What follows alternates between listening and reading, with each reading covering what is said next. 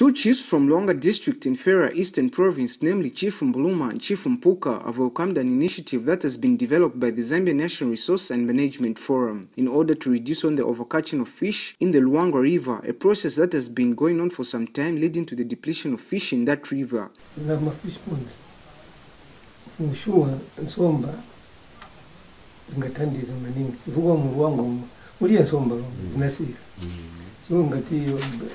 za yaoneka kuti purojekiti ingatandidza vantu. Omba vuto iripo ini kuona papurojekiti yameneyi yafishpon mhm. kuchambira manzi. So muzakumba maboko oika manzi umo oro muzaita mwani have no problem.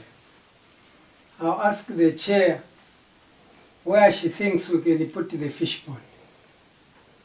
I have some areas where they, they are ponds. I'll mm. call them ponds. Mm-hmm. Just next here, up there's a pond. I don't think it will dry unless we go to find out, then communicate to you then you have given us a job that we have got to look for a place. And the Zambia National Resource Management Forum board chairman Rogers Lubilo described the initiative as a game changer once effective. that uh, the Luangwa River, the fish stock has actually diminished.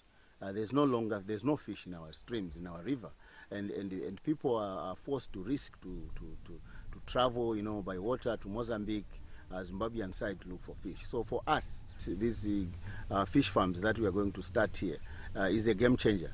It's actually an opportunity uh, for the people here. If they do it very well, they, they, they would provide the much needed protein that people are looking for. Actually, let me take this opportunity actually to extend and thank uh, His Royal Highness Senior Chief Mbuluma for welcoming this project.